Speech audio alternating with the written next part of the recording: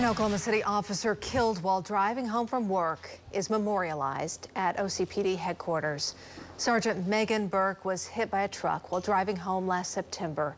She was honored today as the department added her to their In the Line of Duty memorial wall.